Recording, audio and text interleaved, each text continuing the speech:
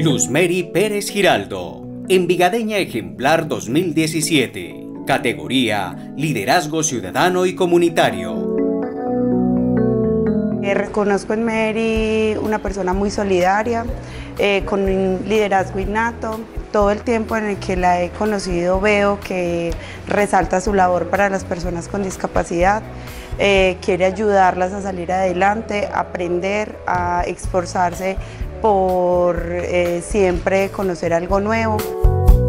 Yo la admiro porque es una persona que colabora mucho con las personas con discapacidad visual, es una lideresa, la acompaño en los talleres donde ella les dicta las clases de bisutería, también dicta clases de manualidades.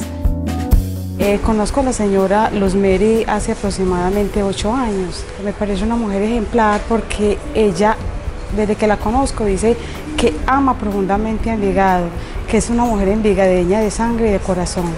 La admiro también por su liderazgo, por su corazón ejemplar de querer ayudar a todas las personas.